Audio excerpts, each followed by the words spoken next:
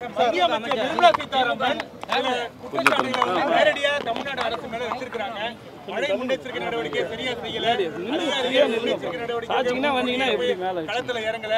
அந்த நான்காயிரம் கோடி செலவு பண்ணதுல சில கேள்விகளை வச்சிருக்காங்க அவங்களுக்கும் தமிழ்நாடு அமைச்சர்களுக்கும் ஒரு கருத்து மோதல் இருந்துட்டே இருக்கு கடந்த ரெண்டு நாளா. இந்த கருத்து மோதலை எப்படி பாக்குறீங்க? மத்திய? இல்லை இப்போ இதுதான் நாங்கள் அனைத்து இந்திய அண்ணா திராவிட முன்னேற்ற கழகத்தின் சார்பில் கழகத்துடைய பொதுச்சான எடப்பாடியாக சொன்னார்.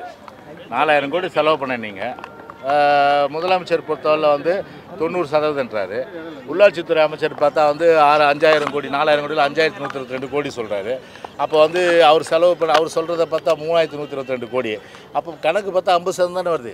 அதான் இந்த நான் என்ன சொல்கிறேன் இந்த பிரச்சனைக்கு ஒரு வெள்ளை அறிக்கை கொடுங்க நீங்கள் அப்போ மக்கள் தெளிவுபட்டுருவாங்கல்ல எவ்வளோ செலவு பண்ணீங்க எது எதுக்கு செலவு பண்ணீங்க? அது வெள்ளரிக்கை கொடுத்துட்டா ஏன் அதை கொடுக்கறதுக்கு பயம்? இந்த விடியாத அரசுக்கு ஏன் பயம்னு கேட்குறேன் நான். எதுக்கு வந்து பயப்படுறீங்க நீங்கள் ஒரு வெள்ளை நீங்கள் கொடுத்துருங்க நீங்கள் அந்த வெள்ளை அறிக்கை கொடுத்தா கண்டிப்பாக வந்து இது இதனோட உண்மை தெரியும். ஆனால் உண்மையை மூடி மறைத்து இன்றைக்கி வந்து முழுமையான அளவுக்கு அந்த பணத்தை செலவு பண்ணாமல் செலவு பண்ணது கூட எதுக்குன்னு தெரியாமல் இருக்க நிலையில் அதனால் வந்து இன்றைக்கி வந்து ஒரு பாதிப்பு கடுமையான பாதிப்பு வந்து மக்களுக்கு ஏற்பட்டு மக்கள் துன்பப்படுற நிலைமை தான் இன்றைக்கி இருக்குது அதே போல் தென் மாவட்டங்களில் வாய்க்கால் குளங்கள் எல்லாம் தூர்வாரி அது முறையாக வந்து செப்பனிட்டு அதன் அடிப்படையில் வந்து செலவு பண்ணியிருந்த பணத்தை பல இடங்களில் வந்து தண்ணீர் தேங்கி இருக்காது ஹெலிகாப்டரில் வந்து போய் சாப்பாடு போடுற நிலைமை இருக்காது. கிட்டத்தட்ட பல பேர் செத்துருக்காங்க இன்னைக்கு.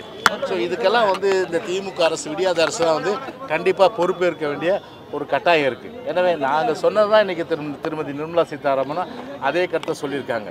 அதில் இதுக்கெல்லாம் பதில் வந்து பார்த்தீங்கன்னா வெள்ளரி கொடுங்க. ரெண்டாவது ஒரு அரசியலில் வந்து ஒரு நாகரிகம் வேணும். ஒரு நேற்று முளைத்த காலன் திரு உதயநிதி அந்த நேற்று முளைத்த காலனுக்கு வாய் துடுக்கு அதிகம். வாய் துடுக்கு அதிகன்றதுனால வாய்க்கு வந்தபடி பேசக்கூடாது. எனவே ஒரு பொறுப்பாக வந்து கருத்துக்களை சொல்லும். அந்த சொல்கிற வந்து ஒரு பக்குவம் இல்லாத ஒரு அரசியல்வாதினா திரு உதயநிதி தான். எல்லாத்தையும் வாயை கொடுத்து வம்பல மாட்டுறது. இப்போ திருமதி நிர்மலா சீதாராமன் சொன்ன நான் அந்த மாதிரிலாம் சொல்லவே இல்லைங்க நான். நான் வந்து ஒன்றிய அரசு அதான் தாராளமாக நிதி கொடுக்குறேன்னு தான் சொன்னேன்ட்டுன்னு ஏன் வந்து சொல்லிட்டு வாங்கி கிடைக்கிறீங்க? இதே தான் நாங்கள் முன்னாடி அவர் சொல்கிறது திருமதி நிர்மலா சீதாராமன் சொல்கிறதுக்கு முன்னாடி எங்கள் அண்ணா அனைத்து இந்திய அண்ணா திராவிட முன்னேற்ற கழக கருத்தை நாங்கள் சொன்னோம். ஏன் இதே வந்து நான் உங்கள் அப்பன்னு கூட சொல்ல உங்கள் அப்பா உங்கள் அப்பா வீட்டு சொத்தா? ஆ? உங்கள் அப்பா வீட்டு சொத்தா? இல்லை உங்கள் தாத்தா வீட்டு சொத்தா? திரு கருணாநிதிக்கு வந்து பேனா செலவு வைக்கிறேன்றீங்க அதே போல் நாற்பத்தி ரெண்டு கோடி ரூபா அந்த இது ஃபார்முலா டூ ரேஸு அந்த கார் பந்தயம். அந்த கார் பந்தயத்துக்கு வந்து கிட்டத்தட்ட அவ்வளோ செலவு பண்ணி இப்போ வந்து அதை வந்து தள்ளி வச்சாச்சு. அது எட்டு கோடி ரூபா போட்ட ரோடே இப்போ வந்து கொத்தி நல்ல இருக்க ரோடே கொத்தி அதை நாசம் பண்ணுறீங்க எவ்வளோ பேர் இன்றைக்கி வந்து நம்முடைய அதாவது நம்ம எண்ணூறு கொசத்தலை ஆற்றுல இன்றைக்கி சிபிசிஎல் அவர்கள் வந்து பார்த்திங்கன்னா கழிவு வந்து நீருக்கு வந்து அதாவது சாரி இது கச்சா எண்ணெய். அது கலந்து கிட்டத்தட்ட டன் கணக்கில் எடுத்துகிட்டு இருக்காங்க. அதனுடைய அதனுடைய வந்து அதனுடைய வந்து தாக்கம் வந்து கிட்டத்தட்ட பழவேற்காட்டிலேருந்து மரக்கான வரல இருக்குது இப்படி. இப்போ என்ன ஒரு கருத்துனா வந்து இதை மாதிரி வந்து ஒரு எண்ணெய் பறந்துருச்சு மீன் சாப்பிடக்கூடாதுன்னு. அதனால் வந்து மீன் தாராளமாக சாப்பிட்லாம். எந்த பிரச்சனையும் இல்லை. அது வந்து பார்த்தீங்கன்னா கிட்டத்தட்ட மீன் சாப்பிட்றதா நல்ல ஆரோக்கியமும் புரத சத்தம் இருக்குது கண்ணுக்கு நல்லது. தாராளமாக சாப்பிடுங்க. இது ஒரு கருத்து சோஷியல் மீடியாவில் தவறாக வந்து பரப்ப பரப்பப்படுது. அது உண்மையல்ல. எனவே வந்து தாராளமாக மீன் சாப்பிடுங்க. அதில் எந்த பிரச்சனையும் இல்லை. ஒரு பக்கம். இன்றைக்கி அதே போல் அதே போல் அங்கே வந்து இன்றைக்கி ஒ- அந்த ஒரு எட்டு கிராமத்துக்கு மட்டும் கிட்டத்தட்ட வந்து அவங்க எதிர்பார்த்தது என்ன? ஒரு போட் ரெண்டு லட்சம். அந்த ரெண்டு லட்சத்துக்கு முழுமையாக யூஸ் பண்ண முடியாது. அது வந்து ஃபுல் டேமேஜ் எது இருக்கோ அதுக்கு ரெண்டு லட்சம் கொடுத்துட்டு போங்க. பார்சியல் டேமேஜ் இருக்குது ஒரு லட்சம் கொடுத்துட்டு போங்க. போட்டுக்கு வந்து கிட்டத்தட்ட பன் பத்தாயிரரூபா வலைக்கு எவ்வளோ கொடுக்குறாங்க? குடும்பத்துக்கு எவ்வளோ கொடுக்குறாங்க? பன்னெண்டாயிரரூபா அப்போது எப்படி இது கட்டுப்படி ஆகும்? வலையை பொறுத்தவரையில் கிட்டத்தட்ட பார்த்தீங்கன்னா அஞ்சு லட்சம் ஏழு லட்சம் வலை. அது வலை. எது ஃபுல் டேமேஜ் ஆனால் ஏழு லட்சம் கொடுத்துட்டு போங்க அஞ்சு லட்சம் கொடுத்துட்டு போங்க. போட் டேமேஜ் ஆனால் கொடுத்துட்டு போங்க. ஸோ அந்த நிவாரணம் வந்து அறிவித்தது போதாது. அதுவும் பார்த்தீங்கன்னா எல்லாருக்கும் கொடுக்கல. அதனால் இன்றைக்கி வந்து மீனூரில் இறங்கி போராட்டிருக்காங்க அதனால் படகுக்கு ரெண்டு லட்சம் ரூபாயும் அதே போல் வலைகளுக்கு அது ப அது கிட்டத்தட்ட ஏழு லட்ச ரூபா வலை உள்ள ஒரு அஞ்சஞ்சு லட்ச ரூபா கொடுத்தா தான் கண்டிப்பாக அவர்கள் வந்து வாழ்வாதாரம் மேம்படுற வகையில் திருப்பி அவங்க தொழில் போக முடியும். அதனால் அந்த தொழில் போக முடியாத நிலைக்கு இன்றைக்கி இந்த விடியாத அரசு தள்ளிட்டு இன்றைக்கி அதுவும் இல்லாமல் கிட்டத்தட்ட சிபிசிஎல் அரசு வந்து கொடுத்துருக்கு. ஆனால் சிபிசிஎல் ஏன் வந்து அரசு வந்து நிர்பந்தப்படுத்தி இன்றைக்கி கொடுக்கல இன்றைக்கி சிபிசிஎல்லோட இன்றைக்கி வந்து அண்டர்ஸ்டாண்டிங்காக அந்த அரசாங்கத்துக்கு புரிந்து புரிந்துணர்வா சிபிசிஎல்லோட எனவே சிபிசிஎல் பொறுத்தவரையில் வந்து கோடிக்கணக்கான லாபம் அவங்களுக்கு ஒன்றும் பணத்துக்கு பஞ்சம் கிடையாது சிபிசிஎல் வருஷத்துக்கு பார்த்தா கோடிக்கணக்கான ரூபாய் லாபம் ஈட்டுற ஒரு நிறுவனம். அந்த நிறுவனம் ஒரு முந்நூறு கோடி ரூபா கொடுத்துட்டு போயிட்டோம். நாங்கள் வந்து கப்பல் வந்து எண்ணெய் கலந்ததுனால இரநூறு கோடி ரூபா வாங்கி தரல. அந்த மாதிரி ஒரு இரநூறுபா வாங்கி கொடுத்து அதன் அடிப்படையில் மீனவர்களுக்கு வந்து கூட்டுறவு சங்க உறுப்பினர்களுக்கு ஒவ்வொருத்தருக்கும் கொடுக்கறது. அதில் என்ன கஷ்டம்னு கேட்குறேன் அப்படி இருக்க நிலைமை. அதுக்கு அதுக்கு வந்து இந்த அமௌண்ட்டு இந்த பணத்தை கொடுக்கறதுக்கு இந்த பணத்தை வாங்கி கொடுக்கறதுக்கு எந்த வக்கு இந்த அரசாங்கத்துக்கு கிடையாது. இன்னொன்று என்னென்னா இவ்வளோ பேசுகிற உதயநிதி ஸ்டாலின். அவங்க அப்பாவை வந்து ஒரு கேள்வி கேளுங்க. இல்லை மறைந்த அவங்க தாத்தா வந்து போயிட்டு அவர் அவருடைய நினைவிடத்துக்கு வந்து கேளுங்க. ஏன் தாத்தா நீங்கள் வந்து சென்ட்ரல் மினிஸ்டரில் சென்ட்ரலில் ரெண்டாயிரத்தி ரெண்டாயிரத்தி ஏழுலேருந்து ரெண்டாயிரத்தி பதிமூணாம் ஆண்டு காலகட்டத்தில் இருங்க. ரெண்டாயிரத்தி பதிமூணாம் ஆண்டு காலகட்டத்து வரையில் மத்தியில் நம்ம தானே அமைச்சராக இருந்தோம். நீ நான் உங்கள் தாத்தாவுடைய ஆதரவோடு தானே அன்னைக்கு வந்து சென்ட்ரலில் வந்து மினிஸ்டர் வந்து அன்றைக்கி இருந்துட்டு இருந்தாங்க. ஏன் வந்து தமிழ்நாட்டுக்கு சேர வேண்டிய பதிமூணாயிரம் கோடி ரூபாய் நீங்கள் வாங்கி தரல? அந்த பதிமூணாயிரம் கோடி வாங்கி கொடுத்துருந்தா தாத்தா இப்போ கஷ்டமே இருந்திருக்கா தாத்தான்னு சொல்லி அவருடைய நினைவிடத்தில் போயிட்டு உதயநிதி போய் கேட்கலாமே. இப்போ இருக்க அவங்க அப்பா கூட கேட்கலாமே ஏன் ஏப்பா இந்த மாதிரி வந்து தாத்தா கிட்ட நீங்கள் சொல்லி அன்றைக்கி வாங்கி தரல. அதில் தாத்தாவும் தப்பு பண்ணிட்டீங்க அப்பாவும் தப்பு பண்ணிட்டீங்க. இன்றைக்கி நான் மாட்டின் முடிக்கிறேன்னு சொல்லிட்டு இன்றைக்கி இந்த பக்குவம் இல்லாத அரசியல்வாதி நீங்கள் மாட்டின் முடிக்கிறார் வந்து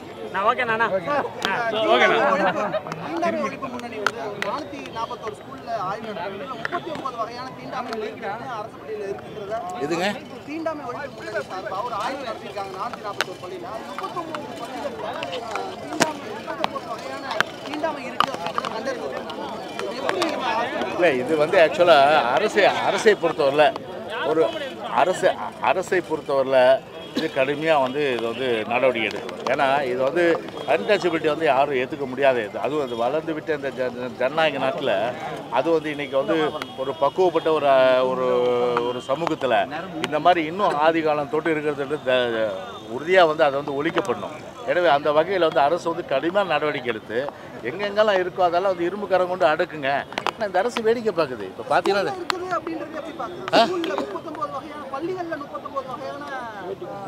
என்னங்க? ஆமாம்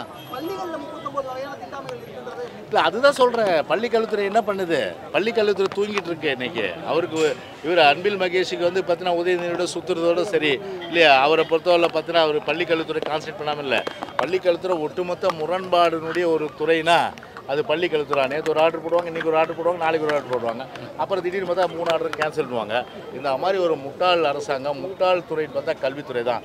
எனவே இந்த முட்டாள் அரசாங்கத்தை மாட்டிக்கிட்டு மக்கள் வந்து அவசரப்படுறது தான் ரொம்ப வந்து பெரிய கஷ்டம். அதனால் பள்ளி கல்வித்துறை விழிப்பாக இருந்து இதை உடனடியாக இப்போ உதாரணத்துக்கு தென் மாவட்டத்தில் என்னங்க நடந்தது? தென் மாவட்டத்தில் ஒரு ஒரு கிராமத்தில் வந்து ஒரு வீட்டில் அக்கா தம்பியும் அக்காவும் போட்டு வீடு பூந்து வெட்டினாங்க இல்லையா அதை? இதை மாதிரி வந்து இதெல்லாம் வந்து ஆரம்ப கட்டமே இதெல்லாம் வந்து கண்டறிந்து உடனடியாக வந்து அது மாதிரி செயல் அதை வந்து ஒரு ஒரு சமூகம் ஏற்றுக்கொள்ளாத ஒரு செயலை அபினிஷம் அதாவது ஆரம்ப கட்டத்தில் தடுத்து நிறுத்தணும் அதை. அதுக்கு சட்டப்படி நடவடிக்கை எடுத்து இந்த மாதிரி பண்ணால் இந்த தண்டனை தான்.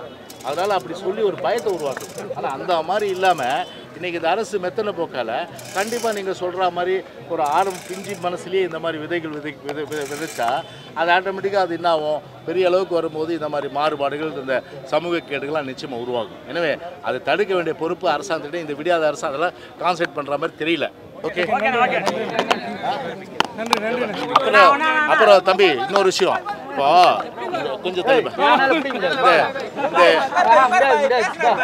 இந்த இந்த இந்த விடியாத அரசு பொறுப்பேற்ற பிறகு ஆண்டுக்கு ஒரு லட்சம் போஸ்டிங்கு. அஞ்சு லட்சம் பேரை போடுவோம்.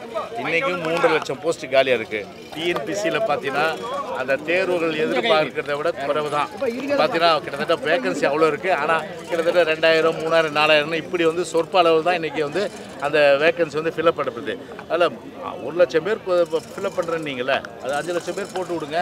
அது என்ன கஷ்டம்? தேர்தல் வாக்குறது மட்டும் கொடுத்தீங்களே. இப்போது ஒரு இப்போ இப்போ வந்து இப்போ புதிய வகை கொரோனா அதான் ஜேஎன் ஒன் இது ஸ்ப்ரெட் ஆகிட்டு இருக்கு இப்போ இந்தியா ஃபுல்லாக இப்போ மருத்துவருடைய அவசியம் கட்டாயம். மருத்துவோட அவசியம் அவசியம் கட்டாயம்னு சொல்லும்போது ஒரு எம்ஆர்பி மூலமாக தேர்வு எழுதியிருக்காங்க. இன்னும் அவங்களுக்கு வந்து ரிசல்ட் போடல இன்னும். கிட்டத்தட்ட ஆயிரத்தி நூறு பேருக்கு உண்டான வேக்கன்சியை கிரியேட் பண்ணிவிட்டு ஆயிரத்தி நூறு வேக்கன்சி கிரியேட் பண்ணிவிட்டு மட்டும் அதுக்கு போடாமல் இப்போ இப்போ ரைட் டு இன்ஃபர்மேஷன் ஆக்டில் அந்த டாக்டர்ஸே வந்து ஒரு இது வாங்கியிருக்காங்க.